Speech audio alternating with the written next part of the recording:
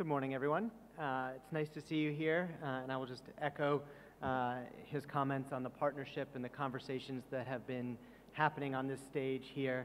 Um, and uh, it's been a, a, fun, uh, fun journey and a, a, privilege. So anyway, welcome uh, to this morning's sessions.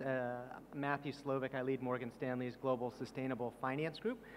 Um, and I don't know if you know this, but your clothing, what you're wearing today, uh, is actually one of the biggest contributors to your carbon and environmental footprint. According to the United Nations, the apparel industry uses enough fresh water to quench the thirst of 5 million people a year. It produces 20% of global wastewater and has a carbon intensity that exceeds aviation and shipping combined. It's also a major contributor to microplastics, increasingly part of the conversation. And that is why our next conversation, following the threads, mapping fashion's value chains, is so crucial. Because we see growing demands for sustainable solutions, we also know that from Morgan Stanley research, people are not willing to pay much more for it. It needs to be affordable. Only roughly 30% of people are willing to pay up to 20% for ethically sourced clothing. So reducing the environmental footprint uh, and social impacts of a clothing's lifestyle, of clothing's lifestyle requires innovation at scale to rethink and reimagine the status quo.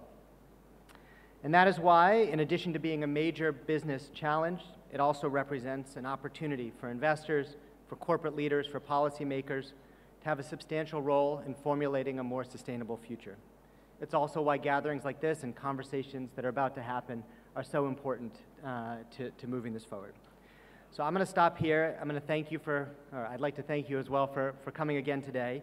And I'm pleased to turn the conversation over uh, to Abdi, Abdi Latif, the East Africa correspondent for the New York Times. Thank you and enjoy the conversation.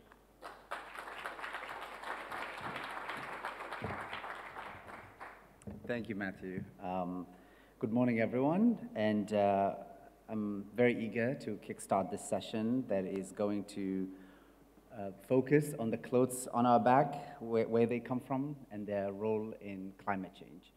Um, to start, I would like to begin with an exercise. Um, and I would like you to indulge me a little bit. Um, stay, uh, or raise your hand if you know what fiber your clothing is made of. Okay? I'm a little bit blinded, but yes, I can see you now. Um, and then raise your hand if you know where that fiber came from. One, two, three, four. Okay, thank you. The fashion industry's environmental impact is huge. Textiles production, including cotton farming, use 93 billion cubic meters of water annually. And this is set to increase following current consumption patterns. When we talk about clothing and fashion, we often think of retail and garment construction. But if we follow the thread, our clothing either comes from framing or, or crude oil, both of which have a huge climate impact. To discuss this and more, I have um, with me two uh, outstanding um, panelists. First, I would like to invite Lily Cole, who's an author, a filmmaker responsible for fashion advocate, and a veteran model to the stage. And Naglaa Ahmed, social development manager at SEKEM, an organization that works with Egyptian farmers, including cotton farmers, to disseminate organic and biodynamic agriculture.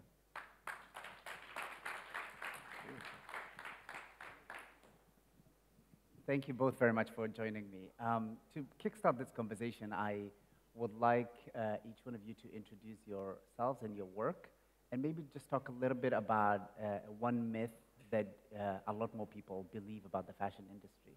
Uh, Lily, should we start with you? Sure. Hello. Good morning, everyone. Um, thank you for having me.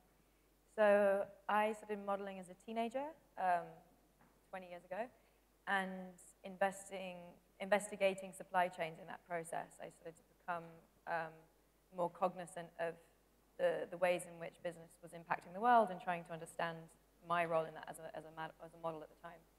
Um, and what myth would I like to debunk? I think it's the, the myth of trends, the myth, in a way, of fashion being something fleeting and seasonal. Um, if we think historically, humans have for thousands of years wanted to adorn themselves in different ways, and I don't think there's anything negative about that. Actually, I think it's a very positive thing and can be very beautiful that cultures have tried to embellish and um, their individuality or their community's values through the way they dress, um, through practices around beauty, jewelry, etc. What is a more recent phenomenon is the idea that that expression needs to be regularly changed and updated. Um, and of course, that's being driven by this um, kind of like this ceaseless appetite of industry to sell more and more and more and waste more and more and more. Um, if you think of the fact that we have about 100 billion garments being made now annually, more than double what was being made 20 years ago, um, and that around probably three quarters of that very quickly ends up in landfill. If you Google images of the Atacama Desert, uh, clothes mountains, or Ghana landfill, you will see literally mountains of mostly new clothes, um, or you know, very recently new clothes being literally thrown away. And I think this is an issue that pervades every industry. Um, we see it in electronics, we see it in furniture, we see it in cars, that the planned obsolescence, designed obsolescence myth that we have to keep buying, buying, buying, selling, selling, selling. But nowhere is it maybe more obvious than in fashion. And I would love to question that myth. Okay. Naglaa? Um, my name is Naglaa Ahmed. I'm working in uh, SEKEM, um, especially uh, in working with the uh, farmers in field just to support them to uh, convert from conventional farming to organic farming because demand on organic now is highly increasing rapidly and especially if we have the calculation of true cost accounting of the crops uh, and cotton is uh, one of the main five main crops in Egypt which is preferably worldwide.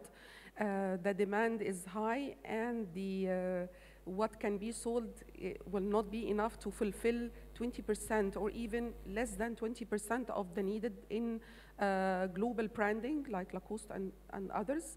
Um, and people now, like you mentioned, we are following the trend. People now are asking from, uh, from where we got our food, from where we got our clothes. This is very sensitive things which can be, uh, I, I need as a consumer to trust it and need to trace from where I can rest and eat my food. Uh, so as cotton, one of the crops which uh, uh, is turning to uh, to be, especially in Egypt, to be turning in organic.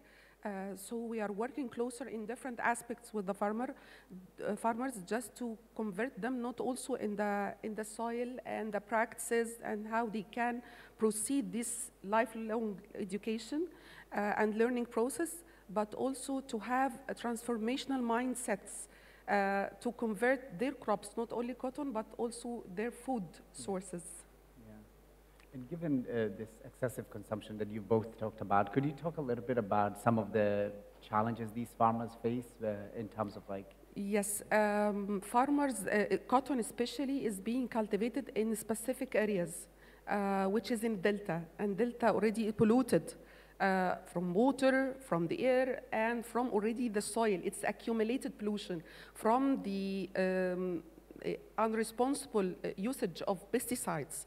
So uh, to get organic, uh, this means that the, the, the, farmer has to follow some practices to convert from zero year in transition to reach third year at least to get certification. Mm -hmm. It's organic. And not also this, it, it has to be assessed, it has to be supported from the organic input supplies. But now, as we have a worldwide challenges regarding the currencies, the inflation of prices, um, uh, other financial issues, the farmer has to find someone to support him of the extension services. He has to know from where he got, he got the good guidance, from whom. He should have trust. Then he would follow. He should, uh, uh, uh he should uh, uh, sell his product before producing. Otherwise, he will be scared all over the season how he can pay for something or give some attention or follow someone and he will not secure selling his product uh, also uh, he has to know uh, from where to get the source of good seeds good biofertilizers good, good pesticide good post harvest issues because the harvesting issues and post-harvest treatments affecting the crop itself. um, uh, much more issues affecting the farmer, but at least prices uh, and the input supplies and the guidance and marketing. If he finds someone to trace his value chain from this and accompany him, he would follow this uh, uh, in a good way. But again, Delta is polluted, so research trials had been made in different places just to check uh, how it could be uh, tried in different varieties of cotton, especially the, the, the long uh, one. Um, but uh, again, um, challenges will be appeared uh, in different ways, but at least they can be controlled from this one. And now farmers are getting to know much more uh, information, and uh, uh, because we are learning like by chalk. If we have a chalk, we have to take around or take corrective action. Um, so uh, the farmer now is facing what is the meaning of the climate change what uh, affecting his crop since then, how he has to follow crop rotation in his farming, how to form like compost, like uh, a supporting to his soil of biofertilizer. And this also can sequester CO2 in his uh, soil.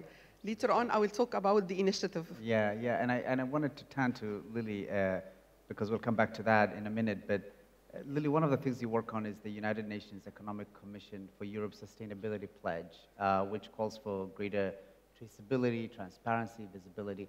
What pushed you to work on, on this initiative, and, and, and could you talk a bit about that? I was um, very uh, happy to see that the United Nations are making transparency a priority and super happy to support this initiative, um, as you just mentioned. I think that I've long thought that transparency is absolutely essential in this effort that we're trying to make to transform industry. I've looked at it in fashion in particular because that's the industry I was working in, but I think it applies to every other industry. Um, and fashion is an interesting example because it's more, often more complicated supply chains than, say, food but maybe less complex than electronics. And, and so it's an interesting challenge to try and see how can we understand the supply chains and value chains in fashion. We're, of course, seeing so many different pledges being made by companies, by cities, by countries. We will have no idea if we are meeting those pledges, if we are making our goals, if we don't have transparency. Um, consumers and customers are not able to vote with their dollar, vote with their pound for better business if we don't have transparency that can honestly and authentically tell people how their products and, products and services are being made. Um, even businesses can't operate in that way, and I consult for some businesses, and it's been interesting to see that some of the companies that really want to transform their businesses, really want to kind of meet targets, struggle to because they don't have full transparency of their supply chain. They might have transparency for one, two tiers, but not all the way back to the beginning of the supply chain um, as we've been discussing now, like Naglaa was saying, with the actual raw materials and the land footprint. Um, apparently, according to, the, to Europe, uh, the European Commission, um, the fa fashion in Europe is, is the third biggest industry in terms of land use. It's got a huge impact on water use um, that connects, of course, to farming, let alone petroleum, which is the, the main ingredient into uh, modern fibers. And if we can't track and trace those supply chains, how can we think about transforming them? Um, and there's a pilot that the UNEC is doing right now with Stella McCartney looking at um, cotton and regenerative cotton in Turkey and whether the blockchain can be used to do a proper transparency um, on many data points, but one of them, um, similar to what Naglaa just mentioned, is uh, carbon captured by the soil. And I think that's really interesting because when you look at agriculture, for food as well as for fashion, you see that it's a huge part of the problem we're dealing with today uh, with the climate crisis um, particularly with regards to land use and water use, but therefore also a huge opportunity as a solution that if we transform how we use the land through agriculture, both for fashion and for food, we could actually galvanize climate action in an extraordinary pace and scale. For practical purposes, uh, both you and Naglaa were one of the few people in the audience who knew where the fabric came from and, and what fabric, what fiber, sorry, that you were wearing. Just for practical reasons, like how, how do you trace yourselves, like what, what you're wearing and where it came from? Is, could you just talk a bit about that? I sort of, when you asked that question, like my hand was like, because mm, I could tell the country, but I couldn't tell the place. Okay. And that's, that's the reality that we're dealing with right now, is that as somebody who cares, it's really hard to be really authentic about where it comes from. I don't know about you. Um, هو in SEKEM, uh, we are trying to do something already uh, like an, a new initiative, and it's presented now in the COP in different zones, uh, and to our ministry and to uh, of agriculture, which is how to trace uh, uh, your product, and it's not only relevant to the farmer. It's a value chain coming from the farmer, a ginning mill, the weaving, the knitting, the printing, and to the final customer. How can these value chain all together do something? Is that the final consumer can buy the carbon sequestered carbon credits produced by those farmers. Uh, then the, the, the, the, final uh, consumer is supporting the source of production, helping them to be incentivized. Because some farmers already are selling their products at the minimal limit of pricing. But if he got some incentive along after he follows up some practice, this would be great. And then he can continue not only in cotton. Uh, some standard also, uh, like the economy of love, had do the impact trace. Is that to, uh, through barcode of something, uh, of, of the product, you can trace from where your product is produced and from which district. Uh, and under the EOL, the economy of love branding, uh, you can trace the whole value chain of the final product in your shelf. Then I know to whom I'm paying this my uh, money and to whom and where. And then I know from where I can get my food and my cotton. And this is what we are uh, doing right now to support the farmers from different perspective. Yeah. Uh, uh, the initiative is coming uh, back to support different things. First, the transparency and the trust between the consumer and the producer, uh, uh, and along with the value chain. Second, to give an incentive to the farmer just to support him to convert to organic, uh, but to find his way uh, for production. Otherwise, he will not be converted because he, he will not see that this is his own responsibility. Actually, it's our own responsibility uh, uh, coming from work in the value chain. Uh, again, uh, to support also from the government, from the organic law and uh, other stakeholders in the private sector. So from this, at least we can know from where we can get our products. Yeah. That's a great uh, detailed process. But I was just wondering in terms of like who to put the onus on. Is it, should, be- should it be the government? Should it be the consumer? Should it be, you know, because uh, at the end of the day, like, you know, the way the system and the way life is structured now is that you're passing by these malls, there are all these flashy clothes, everybody's just like excited to like pick them. Who should the onus be on? Um, Um, from my perspective, it's, it's coming back from two, two partners in the beginning. Like anything in life, we start with demo plot or prototype. It's from the private sector and the farmer. Then it's modeling. Now we are in the COP. We are different stakeholders from all over the world.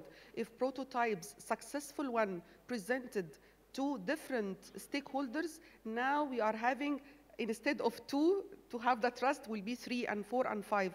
And as i mentioned now the final consumer can support in, in europe can support a farmer in the north of the delta in egypt or uh, uh, some uh, farmer in south africa because he trusts from where he will get his production and he trusts the, the, the, the, the process of the, of the product. It, it not will come suddenly it's a, it's a process of trust and trust needs time. Like the mindset needs time to change. The soil has to, through the pesticides, to be organic almost in a three year, and to a Demeter from four to five years. The mindset needs more. But I think trust needs uh, some proofs. Lily? I think it's a really critical question. Um, and it's not a simple answer. I think that consumers have, of course, a big role to play and are playing already a big role. Um, I think that in a kind of global capitalist framework, we can't underestimate the value that the kind of uh, force of consumerism has in terms of directing market trends and also influencing policy decisions. Um, and we've seen that already kind of working as a nudge factor in food, whether it's fair trade, organic, and now increasingly in fashion, um, with many, many reports suggesting that consumers, majority of consumers care and will pay a premium for, for more ethical clothes. Um, that being said, I really think it should not rely, it should not, the responsibility should not lie on individuals and on consumers. I think this is fundamentally a pol- policy issue.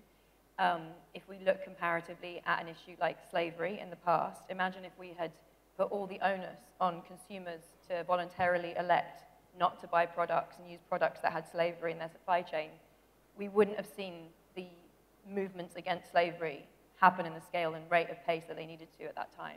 And I think it's similar today. We need the, the, the bar of what a minimum standard should look like um, to not include deforestation, to not include kind of driving the sixth mass extinction. That should just be a policy framework bar that consumers are not responsible for having to understand and deal with. Because right now it's sort of a luxury to have the time, and the headspace, and potentially the money to navigate these choices and make kind of ethical shopping choices that the vast majority of consumers don't have the mind space, the time, maybe the financial resources to do. Um, so I think this is where, yeah, policy has a really, really big role to play, um, of which there are many things that can be looked at, whether it's regulation um, or pricing in negative externalities. I mean, right now, a tiny percent of textiles are recycled. The vast majority of new fabrics are using petroleum um, and not recycled petroleum. And why is it that the economic levers right now are making that the case? Because the cost to society, the genuine cost to society of not pricing in um, the pollution and the damage of, uh, of using these types of materials and wasting in this way is real, and it's just not being priced into the economy. So I think that's where the, the policy needs to, to really look to shift.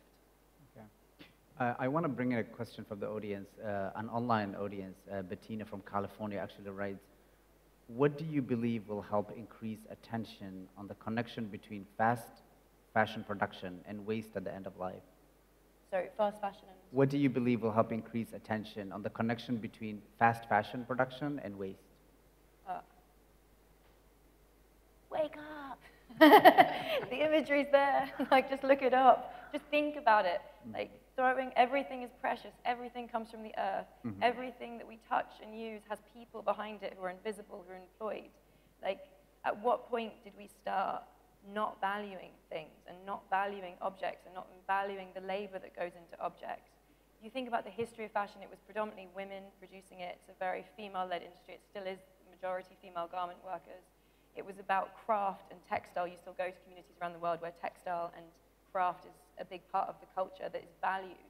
And at what point did we shift out of that into this disposable mindset where literally putting objects into the bin on a regular basis was normalized?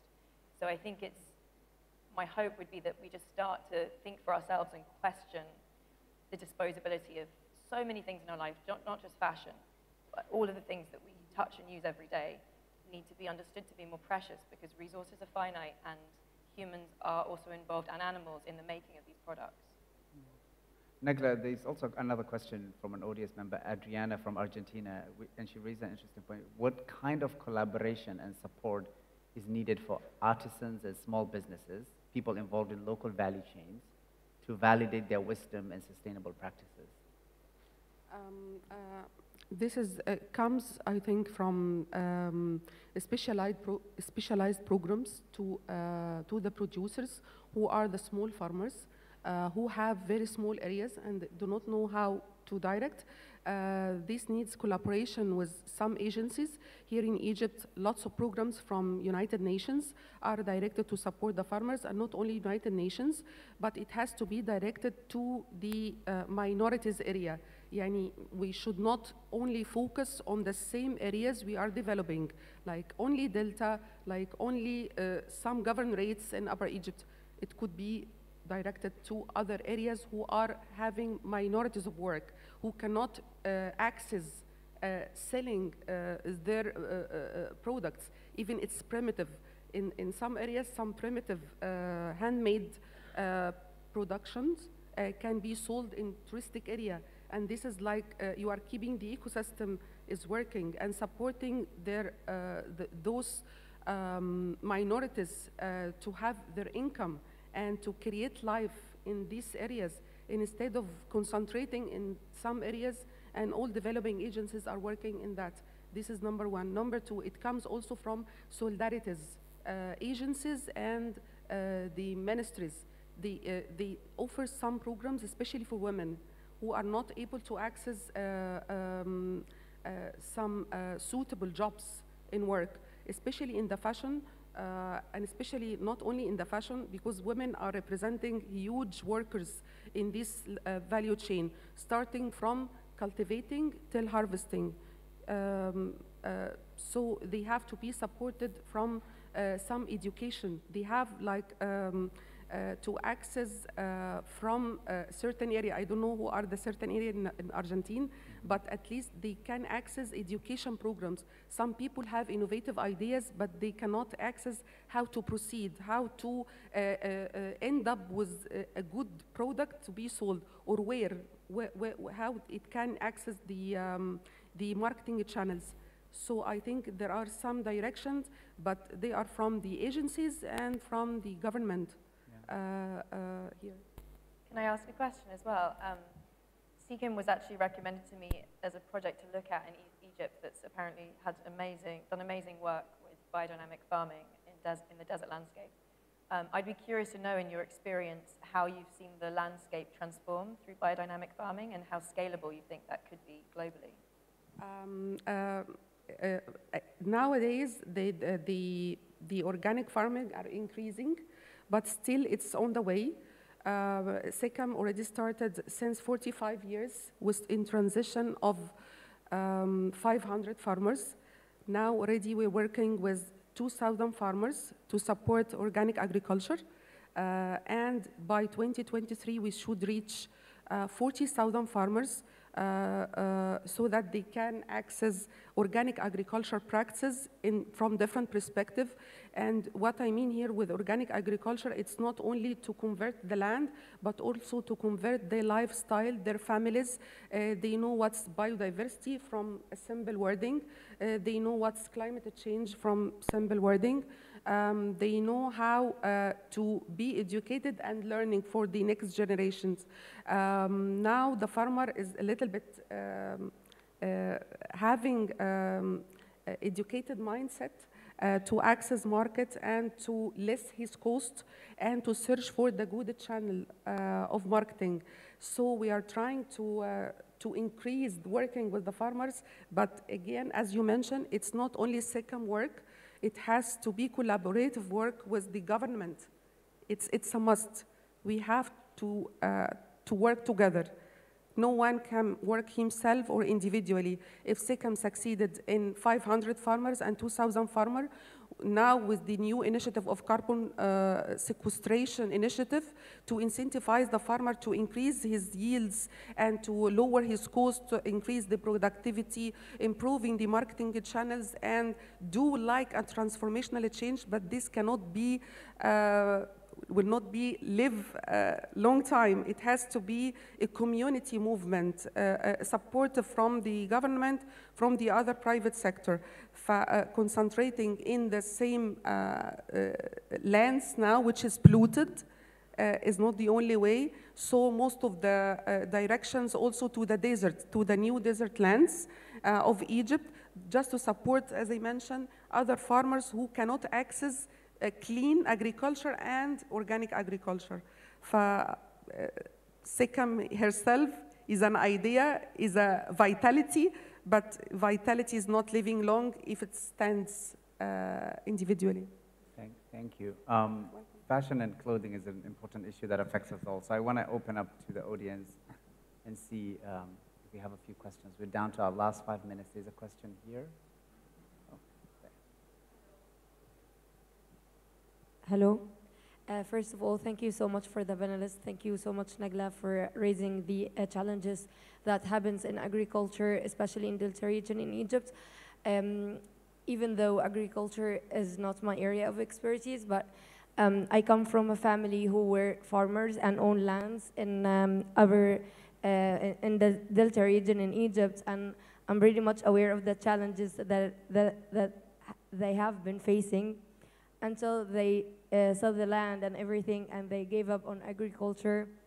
Um, however, uh, regarding, but um, in my family, we, we, we have been um, telling a story all over the place about the cotton um, uh, um, uh, agriculture, especially that it was the main source uh, of their income back in the day but um, it, it has been going through many challenges, especially in 60s, 70s, and moving forward until they gave up uh, on the uh, agriculture. So right now, um, what are the key challenge that you think cotton industry is still facing till now uh, to, to be more flourished in the future?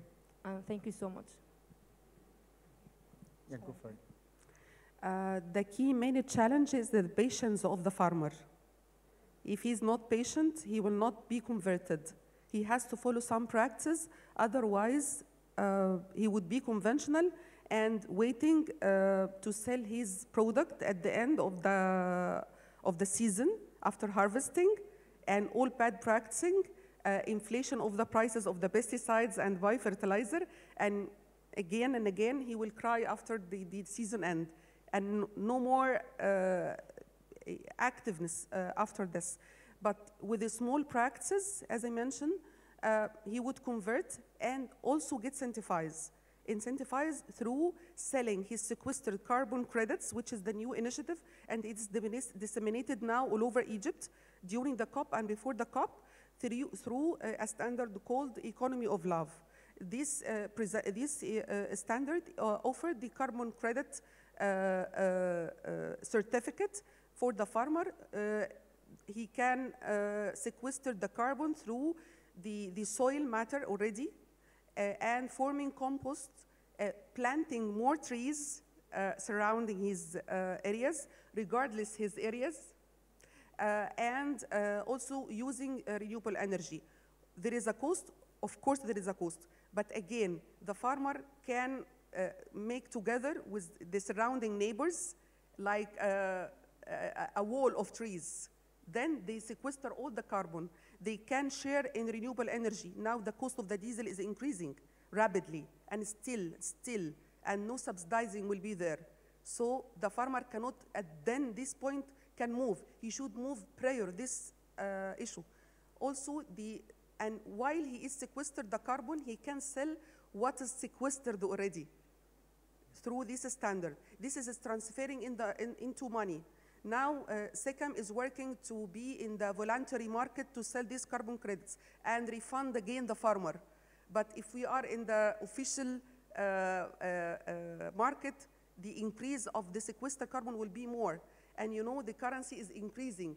So by sequester and by zero year, and this would be after so many years, the cost of the carbon would, would be more and more. So we are working all this together. If the farmer is not convinced with this concept and will not follow some recommendation and follow up some things, he would be standing in his place. This is the main challenge, the patience of the farmer. Thank you, Thank you. Naglaa. Uh, we're down to our last minute, and I know we started this session by talking about one myth that you wanted to debunk about fashion. And I wanted to end the session by asking you to talk about one truth about fashion that you want the audience to take away from this session. Lily? Good question. Um, well, they're connected because I think, for me, the, the truth we all have to contend with in fashion and in every industry is, is actually being truthful with ourselves about what is the reality of science right now, what we're saying in terms of pledges and promises, and what the data is showing in terms of action. Because there have been so many pledges and promises in the fashion industry and in every industry in recent years, and that's, you know, as an environmentalist for decades, that's encouraging to see that people are making promises. But then when you look at the data of year on year um, carbon emissions, year on year growth, projected growth, it's completely out of line with the commitments that are being made. I mean, if the UN asks every industry to halve emissions by 45% by 2030, many fashion brands have committed to halve their own emissions by 2030. Sounds great, and then you look at the year on year growth and the projected growth up until 2030, and it's a complete delusion. Um, and so I think the truth I would call for is being truthful with ourselves that pledges and promises are not going to deal with the physics. Like the physics cannot be greenwashed.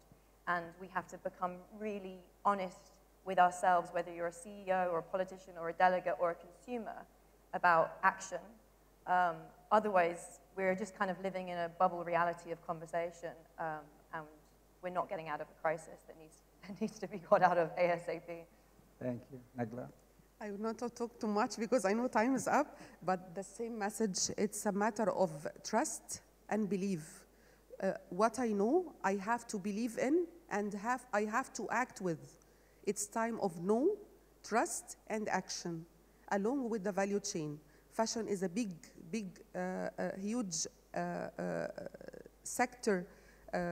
Lot of people are getting income through it, from the farmer till the, the brand, high branding names, because they are buying a lot. So if all are believing in something, and there is a trust between all, things would a little bit uh, go better. It's a matter of belief. And sorry, one last thing, I know we're out of time. On that point, just to be more tangible, like it's all very well companies thinking about new materials, but we need to think about new business models. We need to think about circularity. I didn't know where this dress is from exactly because I bought it secondhand. Like we really need to shift into circular business models and even questioning GDP growth as the religion by which we are governing our society and think about the metrics that we want to grow that are more important. um, otherwise, we're not going to be able to be, I think, honest in making the changes that need to happen. Thank you, Lily Cole and Naglaa Ahmed. Thank you both so much for being with us.